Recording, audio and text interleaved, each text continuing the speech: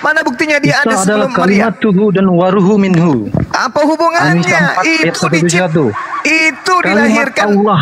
itu Nah, dilahirkan berarti- kapan? I- Itu dilahirkan kapan? Dilahirkan melalui siapa? Maria, Maryam. Lalu orang waras mana yang mau mengatakan itu bukti ketuhanan Yesus yang adalah manusia sebagai Tuhan? Be, timpang kali bocornya otaknya. Sekarang permasalahannya adalah ke kesaksian Yesus sendiri itu apa tentang dirinya? Dia manusia. Tak ada orang yang waras mau menuhankan Yesus. Tak ada. Satu pun tak ada. Kenapa? Karena Yesus itu manusia. Mau anda bolak-balik sana kemari, menjual, menjajakan agama pagan anda, itu tak akan pernah anda bisa menemukan orang waras. Berarti kamu mengatakan, menyangkal "Oh, bro. betul." Sebentar, sebentar. Sebentar ya, Ah. sebentar kawan. Sebentar.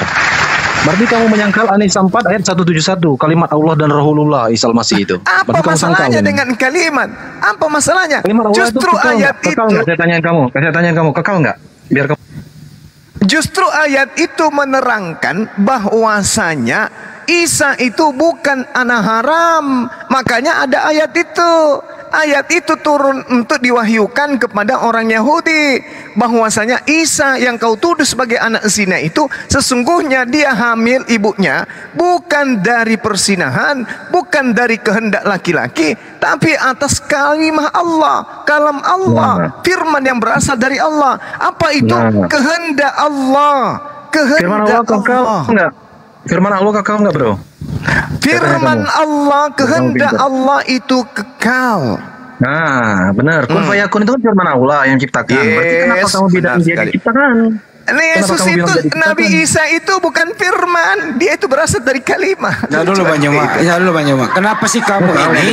Nah dulu, diam dulu, diam dulu, diam dulu, saya moderator. Lucu, lucu, Ke- lucu, lucu. Kenapa kamu nggak pakai Bible membuktikan itu? Kenapa nyebrang ke Al-Quran? Bible dibuang aja Oke, gitu. oke, oke, oke. Saya jawab, Pakai saya jawab. Bible dong. Pakai Bible. Oke, oke, oke. Oke, oke. Sebentar ya, Nggak, kawan nggak, ya. nggak, nggak, Dek. Wahyu dua berjanji dulu, 13, nggak, aku diam dulu, berjanji dulu, hidup. nggak dulu. Kalau kamu masih pakai Al-Quran, boleh, tapi kau berjanji bahwa Bible sampah. Bagaimana? Berjanji dulu. Ya kamu mau bawa Al-Quran apa Bible saya jawabnya? Ya, Terserah, pakai. Bible, pakai Bible. Nyebrang Oke. lagi berarti Bible sampah ya. Kalau nyebrang lagi membuktikan Yesus Berarti Tuhan. kamu udah menyangkal Al-Quran kan? Kamu udah menyangkal kan? Yang saya Ya, jawab tadi kamu udah apa menyangkal kan? hubungannya Al-Quran membuktikan Yesus Tuhan? Ya dia kekal. Ya, Kalau pakai Bible dong. Pakai Bible. Kalau Allah kekal. Pakai Ya Bible. Oke. Lucu Wahyu Anda 22 ayat itu ya. 13. Ah, sebentar, lucu, sebentar kawan, lucu. sebentar, sebentar jangan dipotong, sebentar kawan. Lucu. Wahyu dua Nggak ayat 13. bisa, nggak bisa. Saya moderator. Saya moderator. Kau nggak boleh diatur. Nah, kalau Ya. kalau an- kalau Anda menggunakan Al-Qur'an itu diketahui oleh umat Islam sedunia. Kenapa? Al-Quran itu mau anda larikan ke mana pun, umat Islam sudah dipahamkan inna matala Isa indallahi kamatali Adam khalaqahu. Umat Islam ngerti Sesungguhnya perumpamaan Isa bagi Allah seperti dengan Adam.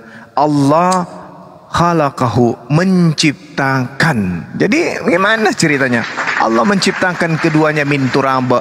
Baik Adam maupun Isa diciptakan dari tanah. Jadi umat Islam yang mana yang ingin kau bodohi? Orang waras mana yang ingin kau bodohi dengan mengatakan Isa itu dari kalimat dan roh dari Allah lantas dia adalah Tuhan? Tidak bisa.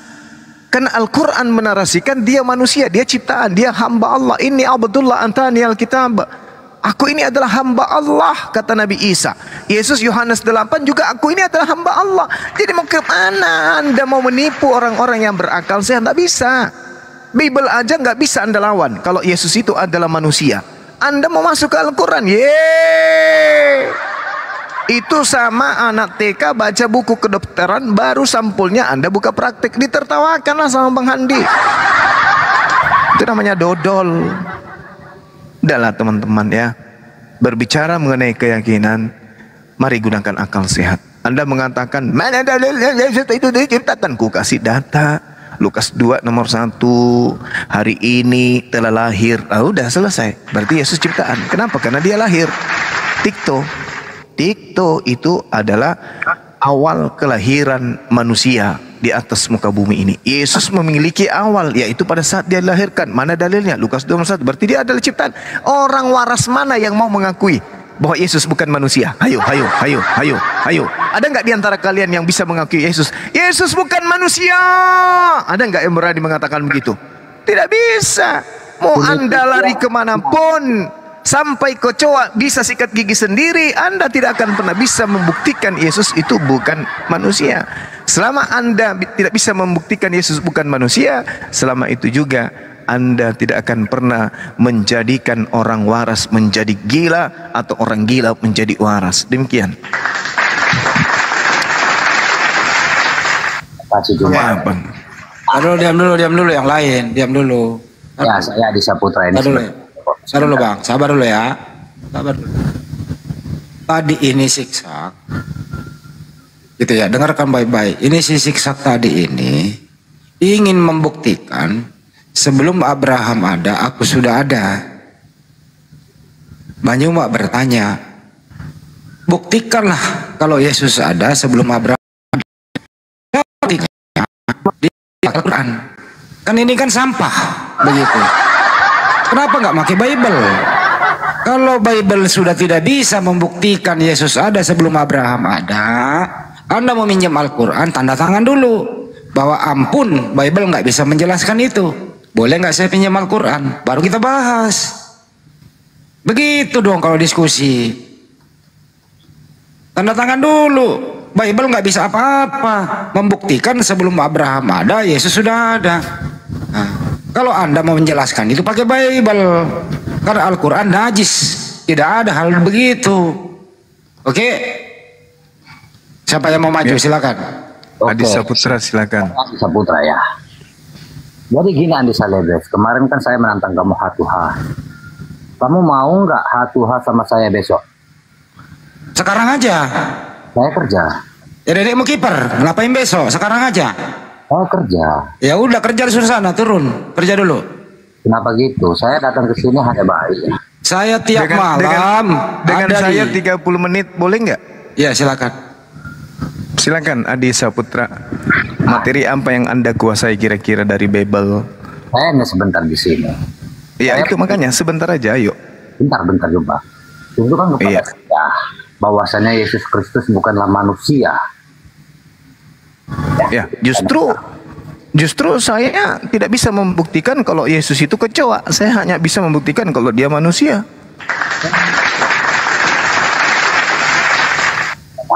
Saya saya benarkan aja lah omongan kamu tapi tertulis dalam Al- dalam dalam Filipi Filipi 2 ayat 6 sampai 7 bahwa saya di situ Yesus Kristus itu walaupun walaupun apa ya walaupun seperti apa ya saya pun lupa juga. Walaupun dalam rupa manusia, Nah, Iya telah dia mengosongkan walaupun dirinya. dalam rupa elok teos, dia tidak mempertahankan teos melainkan dia mengosongkan diri dan mengambil rupa hamba dan sama seperti jadi manusia. Terus Bagaimana kamu mau diskusi? Kau nggak hafal Bible coy. santai kamu Berarti Anda mengambil Filipi 2 itu justru membuktikan Yesus itu adalah manusia. manusia Anda Anda mengatakan seperti itu walaupun dalam rupa gambar Allah banyak Hmm. kok banyak banyak Alkitab yang menegaskan bahwasanya dia di- dia sendiri adalah Allah itu sendiri ya. Bukan dalam rupa Allah di situ, Bung, dalam rupa dewa. Iya, Teos. sama juga sih. Dalam Al-Quran pun juga Bang Juma tidak ada kata Allah yang ada kata ilah benar kan? Orang rusak ini Bang Andi. Mau rusak udah. Mana ada dalam Quran ada kata Allah yang ada ilah. Waduh, payah ini. Bentar Bang Juma ya sedikit aja. Jadi Handi Celebes, saya Iya. menanti kamu besok hatua sama saya gimana? Sekarang Kenapa aja. dengan saya aja? Sekarang aja. Kenapa besok? Kemarin bilang besok, hari ini bilang besok. Saya berharap kamu mau menguasai Al-Quran kamu sama hadis kamu. Iya, oh mau bertanya. Mau bertanya. Terlalu tinggi bahayanya. Waduh. Ternyata mau bertanya kamu diskusi. Dari kemarin dari kemarin jangan. Dari kemarin ngajak saya. Ya sekarang aja kenapa tunggu besok? Saya. Bang, Ketemu lagi apa besok, besok lagi, besok lagi. namanya nih orang ini. Kemarin- eh, saudara Oten Anda memalukan loh. Ya, banyak Omelin yang terus, omelin terus, omelin terus. Ya, Anda memalukan tadi nantang Bang Juma, nantang Bang Tapi- besok. tapi- nah, setengah jam, Hajar terus, hajar terus. setengah jam Anda nggak mampu. Ya, Saya yakin dia ini bukan Kristen loh. Siapa Nah, Adi Saputra ini bukan Kristen kayaknya. Coba tanya dia. Kamu Kristen nggak bro? Saya Kristen 100% Kristen. Ya, jangan. Kamu percaya Yesus mati terkutuk di tiang salib? Saya Yesus Kristus. Saya Enggak, saya tanya kamu. Kalau kamu Kristen, kamu percaya nggak Yesus mati terkutuk di tiang salib? Iya, karena menembus dosa manusia. Bobo, percaya dia. Cocok. Oke, berarti Kristen ya betul betul betul. Iya, Betul, itu betul. pertanyaannya menandakan dia Iya, Kristen. iya, iya, iya. Dia harus mengutuk Tuhannya ya. dulu, baru Kristen dia. Kalau masalah udah sila, eh, silakan ambil kipas anginnya di, di, di keranjang bawah tuh. Bener, hadirnya kipas angin. kosong Ini itu, loh, jadi menguji seseorang Bagaimana? itu menandakan dia Kristen, dia harus mengiyakan Tuhannya terkutuk, baru dia Kristen. Ya, bagaimana Anda bisa menghadapi Bang Handi Tuhanmu aja terkutuk, Cak Ayu? Gimana tuh? Tuhanmu aja terkutuk, sembahanmu terkutuk, apalagi ente mau lawan kami. Gak bisa. iya gini. Hmm. Salah, menghadapi polemikus-polemikus kalian itu saya nggak akan pernah gentar. Ya, gentar nggak perlu, yang diperlukan otak. Sekarang begini, kalau orang Yesus itu terkutuk karena dosa, ke mana dia harus pergi mempertanggungjawabkan dosa tersebut? Kepada dirinya sendiri ataupun dagingnya Nah, sendiri. ah, Oke, dosa itu tempat cucinya di mana? Tempat cucinya ya makanya Yesus Kristus itu sendiri lah. Saya tanya, dosa itu tempat cucinya di surga atau di neraka? Tidak ada tempat cucian dosa. Oh, jangan Anda jangan Anda tiba-tiba jadi anak bayi. Bukan. Anda Anda tahu dosa itu tempatnya di neraka, betul? Ya, saya mengatakan kepada Anda, jika Anda kok gitu, Jangan Anda menjadi anak TK. Ku, ku tanya lagi. Dosa itu harus dipertanggungjawabkan di neraka, betul? benar. Nah, ke mana Yesus membawa dosa-dosa kalian? Ke mana Yesus membawa dosa-dosa kalian? Ya, Karena, ya. ya kalau Eh, saya kok karena? Eh, kok karena? Kok karena? Dengar, Yesus itu adalah manusia yang kekal di neraka selama-lamanya paling bawah. Kenapa? Karena seluruh dosa-dosa orang Kristen ada di pundaknya, ditanggungnya. Sampai sana kamu tega memperlakukan Yesus itu seperti itu. Dosa orang mencuri, dosa orang memperkosa, orang yang membunuh ayahnya, ibunya ditanggung oleh Yesus. Anda rela membebaskan orang-orang yang membunuh kedua orang tuanya dengan men- menggunakan Yesus sebagai tumbal. Anda rela? Mana Anda- kasihmu? Anda Mana kan- ajaran kasihmu? aduh, ab- Ayo. Anda kan nggak mengetahui tentang literatur Alkitab saya. Jangan Anda mengatakan saya tidak mengetahui. Sekarang pertanyaan saya, ketika ada orang Kristen membunuh kedua orang tuanya, dosanya ditanggung oleh siapa? Dirinya sendiri, itu kan perbuatan dia sendiri. Jadi jadi Yesus mati di atas tiang salib tidak berguna bagi dia, padahal dia percaya. Maksud kamu? Hah? Orang tua, orang tua dua dibunuh oleh orang yang menganut ajaran Kristen kemudian mempercayai Yesus mati di atas tiang salib untuk menanggung dosanya. Dosa membunuh kedua orang tuanya. Pertanyaan saya, kamu rela menyelamatkan pembunuh kedua orang tuanya dengan menjadikan Yesus sebagai tumbal gitu? Kamu rela? Ya, saya, Hmm? Hmm. ya, saya Hmm. Kamu kenapa? rela. Kenapa? Jika seseorang yang pembunuh Jadi, tuannya, jadi kamu membolehkan, jadi kamu membolehkan seorang Kristen membunuh kedua orang tuanya. Yang penting dia tangguhkan dosanya kepada Yesus. Kamu rela gitu? Kamu suka? bentar Ajaran apa itu ya? Hah? boleh. Oh gitu. Itu ajaran kasihmu tuh. Jadi teman-temanku silakan bunuh orang tuamu. Yang penting kita percaya kepada Yesus. Dosa membunuh orang tua ditebus. Di mana dalilnya? 2 Yohanes 1 Eh 1 Yohanes 2 Anak-anakku Janganlah engkau berdosa Akan tetapi jika kamu berdosa Jangan khawatir Sebab dosa-dosa kita telah didamaikan oleh Yesus Kristus Betul? Betul ada dalilnya seperti itu dalam kitabmu? Betul? Benar bangku. Betul? Boleh, boleh nggak saya sedikit Ah. bangku? Ah, oke. Berarti orang Kristen boleh dong membunuh kedua orang tuanya, betul? Iya bangku, kok saya iya kan. Jadi dalam hadis juga bangku. Masya Allah. Udahlah, takutlah saya sama Kristen kalau begini. Enggak, boleh sedikit ngomong Mas Juma. Silakan, silakan. Oke, makasih Mas Juma. Di dalam hadis Sahih Muslim juga mengatakan, Kenapa lari ke hadis? kau tertawa dia menjebak jiwaku. Ya, Heran aja, heran aja sama saudara saya ini. Heran saya, heran. Heran saya bang. Di dalam 1 Yohanes 2, Jangan, Hai anak-anakku, hal ini kutuliskan kepadamu supaya kamu jangan berbuat dosa. Namun jika seorang berbuat dosa, ia mempunyai seorang perantara pada Bapa, yaitu Yesus Kristus yang adil. Dan Yesus adalah pendamai untuk segala dosa kita. Segala dosa kita. Jadi kalau ada seorang yang membunuh ibunya, Anda tak perlu khawatir dan Anda tidak perlu mengatakan anak ini kejam, anak ini kemudian begini dan. Kenapa? Karena Yesus sudah menanggung segala dosa kalian. Jadi dosa kalian itu itu Anda anggap biasa aja. Ini ini ajaran kasih.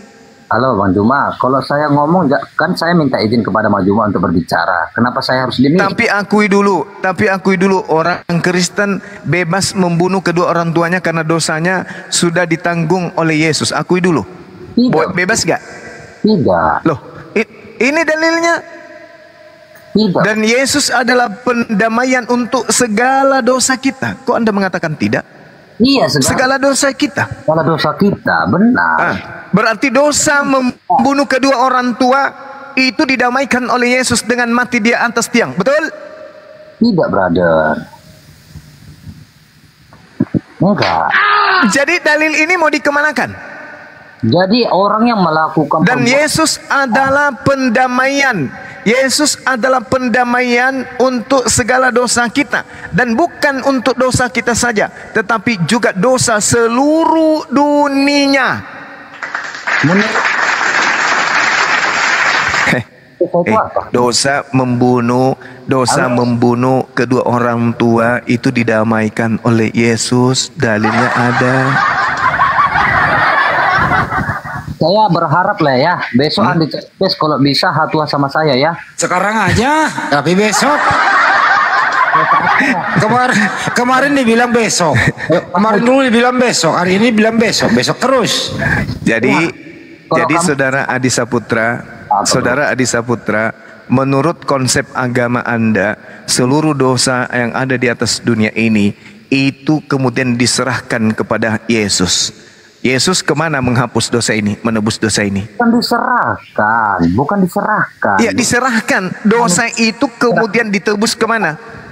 Kamu harus tahu dulu, Dosa itu ditebus ke mana? dosa itu ditebus kepada Tuhan kita Yesus Kristus. Dosa Ya, perbuatan Tuhanmu itu, Tuhanmu itu menebusnya ke mana? Kepada dirinya sendiri karena dia sendiri yang membuat Berarti berarti kalau begitu, kalau begitu kepada dirinya sendiri satu-satunya tempat mencuci dosa yaitu neraka. Hmm, Berarti Yesus Anda perintahkan menuju ke neraka. Karena hanya nerakalah kemudian tempat pencucian dosa, tak ada tempat lain. Yesus menanggung segala dosa-dosa dunia. Yesus menanggungnya. Lalu supaya tanggungannya ini hilang dari pundaknya, dia harus dibawa ke neraka. Makanya saya katakan kepada se- semua pendebat Kristen, ajaran Kristen itu bukan ajaran kasih. Ajaran Kristen itu ajaran sadis, radikal. Ajaran yang sangat menyerang, menyeramkan. Makanya saya katakan kalian itu adalah pengikut pembinasa keji. Pembinasa dan keji. Itulah Paulus yang mengajarkan bahwa seluruh dosa umat Kristen itu diserahkan ke pundak Yesus. Ketika Yesus ini menanggung dosa kalian, ke mana hendaknya Yesus untuk membersihkan dosa-dosa itu? Ke surga. Tak mungkin ke surga bawa dosa, gak mungkin.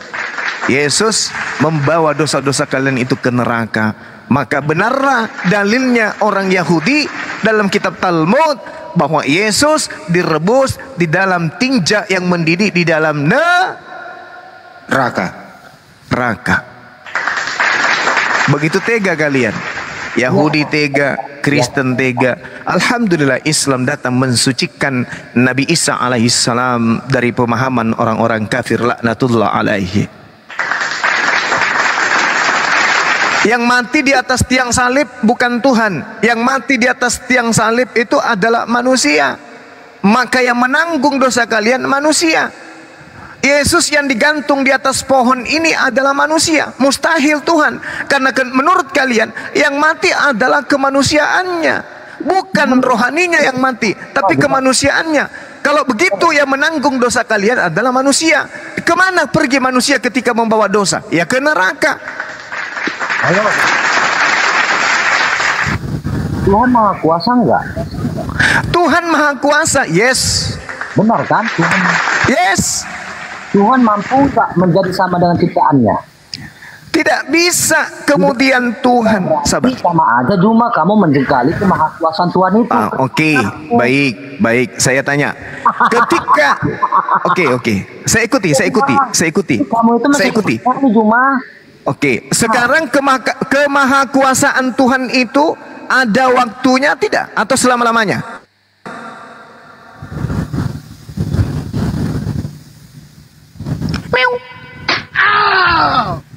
Jawab, jawab. Kemahakuasaan Ya. Tuhan itu selama-lamanya atau ada masa di mana dia tidak maha kuasa? Jawab. Tuhan itu selalu maha kuasa walau Oke, ketika Yesus menjadi bayi, dia tetap makanya Klovis Tetap apa? Ditanya itu dengar dia pertanyaannya tetap dulu. apa? Dia tetap apa? tetap kuasa. Ketika ketika Yesus masih bayi, apakah Yesus berkuasa berjalan ke toilet untuk pipis? Jawab. Dia Jawab. ketawa dia. Ketawa ini. Jawab ketika Yesus bayi dia berkuasa tidak ke toilet berdiri pipis supaya dia tidak kencingin dirinya sendiri. Jawab. Itu itu filsafat. Itu kan Itu, itu, itu apa? Itu apa? Itu apa? Katanya Tuhanmu berkuasa, berkuasa menjadi bayi. Oke, dan kamu mengatakan bahwa kekuasaan Tuhan itu tidak ada batasnya. Pertanyaan saya, ketika Tuhanmu menjadi bayi, apakah Tuhanmu berkuasa berjalan sendiri ke toilet untuk pipis agar pipisnya tidak menyentuh, tidak membasahi dirinya sendiri? Jawab. Berkuasa enggak dia ke toilet berjalan sendiri? Itu logika kamu itu logika anak-anak SD atau anak TK cuma. Itu logika orang gilamu yang kukembalikan padamu yang mengatakan Tuhan menjadi bayi Cahayu. Kamu yang gila dengan mengatakan Tuhan yang maha kuasa menjadi bayi. Kamu yang gila bukan saya. Kamu yang punya konsep itu. Kalau kami Tuhan itu maha kuasa dan selama-lamanya maha kuasa sehingga dia tidak akan pernah bisa menjadi tidak maha kuasa. Dengan demikian dia tidak pernah menjadi makhluk yang maha lemah seperti Yesus. Kamu yang membuat Tuhanmu yang maha kuasa menjadi seketika tidak maha kuasa. Ayo, Yesus berkuasa tidak cebok sendiri pada saat dia bayi? Jawab. Wih jawab wih. Jawab. Hmm. Oh, jika emang Apakah seperti- Yesus ketika ee pada saat bayi dia berkuasa cebok sendiri? Jawab. itu pem Kok jadi saya yang kau salahkan, Cak Ayu? Kau yang membuat Tuhanmu menjadi tak berdaya. Tadi ditanya, apakah Tuhan itu maha kuasa? Ye, Bang Suba maha kuasa dong. Sampai kapan? Selama-lamanya. Mari kita buktikan. Kalau konsepmu itu benar, berarti Yesus selama-lamanya yang adalah Tuhanmu. Dia mampu cebok sendiri pada saat dia bayi. Cebok pun pada saat dia bayi, itu bukan menandakan bahwa dia maha kuasa, Cak Ayu. Sekarang pertanyaan saya, apakah Yesus bisa cebok sendiri pada saat dia cek berak di celana? Jawab. Wih jangan nangis. saya mau ngomong itu saya di mute. Ya lu jawab itu pertanyaan. Oh, Handi, kalau kamu ada ada nyali bilang. Lu Iya. jawab itu pertanyaan. Muridnya aja membuat kamu belepotan. Pertanyaan saya nih, apakah Yesus berkuasa membersihkan ee pada saat dia bayi dan di situ dia berak celana? Jawab. Karena dia dia masih bayi, otomatis kita itu seperti mana anak bayi? Ya seperti itu. Kita Iya. Apakah itu maha kuasa? Aneh, aneh. Apakah itu maha kuasa? anak bayi, anak bayi itu tidak maha kuasa. Karena dia di Allahu Akbar Masya Allah Dengan demikian Anda sudah membatalkan Yesus itu bukan Tuhan Sebab Tuhan itu tidak pernah kehilangan Kemahakuasaannya Dah selesai ya Orang Kristen tidak akan pernah berakal kalau membahas tentang agamanya. Tidak akan pernah. Hanya imani saja. Mulutmu barusan berkata, Tuhan itu maha kuasa. Bahkan Anda menertawakan saya. Benar. Karena saya- Anda punya Tuhan bisa jadi manusia. Ternyata setelah menjadi manusia, terpenjara kemanusiaan. Sehingga dia berak di celana, tak bisa cebok sendiri. Ayo, ditertawakan sama anak TK. Tuhannya orang keliteng. Berak di celana Tak bisa cebok sendiri Tanpa ibunya Tuhan orang keliteng Mencet di celana. Gimana maha kuasa? Bela sendiri di celana. Tuhanmu itu bro. Tuhanmu Tuhan kami nggak bisa kayak begitu Makanya Tuhan kami nggak bisa jadi lemah. Tuhan kami maha suci Tidak bisa menjadi kotor. Tuhan kami maha tinggi Gak bisa jadi rendah. Tuhan kami maha besar Tidak bisa jadi bayi. Tak seperti Tuhanmu. Tuhan na orang kelisteng Suka main keleleng. Kebelet pipis celana Tak bisa cebok sendiri itu Tuhanmu Bung. Kamu yang menciptakan karikatur itu sendiri. Makan itu. Makan itu Tuhanmu. Makan itu derita lo. Tuhan kau buat seperti mainan. Tuhan kau buat seperti karikatur. Tuhan kau buat serendah-rendahnya Maka Al-Quran mengatakan apa? Innal ladina kafaru min ahlil kitab wal musyrikina Fi nari jahannam Khalidina fiha. Kenapa? Engkau mempermainkan pencipta langit dan bumi Dengan mengatakan dia menjadi bayi Kau mempermainkan pencipta kita dengan mengatakan dia pernah berak di celana. Kau mempermainkan pencipta alam semesta yang menguasai segala sesuatunya dengan mengibaratkan, bukan hanya mengibaratkan dengan menjadikan dia pernah datang menjadi seenggok bayi yang pernah pipis di celana. Na'udzubillah thumma na'udzubillah. Subhanallah, Maha Suci Allah dari sangkaan-sangkaan seperti ini. Ya.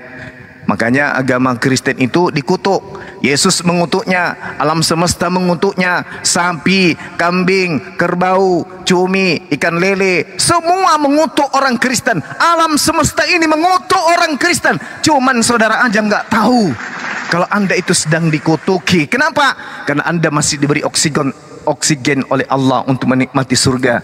Dunia ini adalah surga terakhir bagi Kristen. Ad-dunya sijnul mukmin wa jannatul kafir. Surga itu buat Kristen adalah dunia. Setelah selangkah mereka masuk ke alam barza, maka dia akan masuk ke dalam api kekal selama-lamanya. Fi nari jahannam khalidina fiha. Kenapa? Karena pencipta langit dan bumi mereka buat karikatur menjadi seorang bayi yang ee dan pipis di celana sendiri tak berdaya. Nauzubillah tsumma nauzubillah. Wahai saudara-saudaraku sebangsa dan setanah air yang masih bisa diselamatkan dari ajaran ini, yuk mari Mari dalam rekap rangkuman, rangkulan dan dekapan Bang Soma Kita akan mengantar anda semua kepada keselamatan dunia dan akhirat Menyembah hanya kepada Tuhannya Yesus Allah subhanahu wa ta'ala Dan beriman kepada Yesus hanya sebagai Nabiullah, Rasulullah dan bukan sebagai Tuhan. Hanya dengan jalan itulah kemudian manusia kita anak keturunan Adam bisa sampai kepada keselamatan.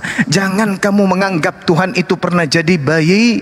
Jangan kau menganggap Tuhan itu pernah lemah. Jangan menganggap pencipta langit dan bumi itu pernah menjadi sesuatu yang bukan Tuhan, yaitu menjadi makhluk yang tak berdaya. Sedangkan kesaksian Yesus sendiri mengatakan dalam Matius 5 nomor 36, ada kesaksianku yang lebih tinggi, yang lebih penting, yang lebih dahsyat dari kesaksian Yohanes Pembaptis bahwa segala mujizat yang aku lakukan membangkitkan orang mati, membuat orang lumpuh berjalan, orang buta melihat. Semua kekuatan dan tanda-tanda itu aku lakukan di tengah-tengah Bani Israel semata-mata untuk mempersaksikan bahwa aku adalah Rasulullah, bukan mempersaksikan bahwa aku itu adalah Allah itu sendiri. Sedangkan mereka orang-orang kafir laknatullah alaih kata Yesus, waspadalah kepada mereka karena mereka adalah serigala yang nyamar seperti domba. Nyahlah daripadaku. Kalian semua adalah pembuat kejahatan. Kenapa kalian itu membuat kejahatan? Karena kalian pernah melantik aku menjadi Tuhan. Wa iskalallahu ya Isa bin Maryam, anta qulta linnas tahisuni. Apakah engkau pernah mengajarkan kepada orang Kristen menjadikan dirimu sebagai Tuhan selain daripada aku? Qala subhanaka ma yakunu li an aqula ma la sali bihaqqa. Maha suci engkau ya Allah.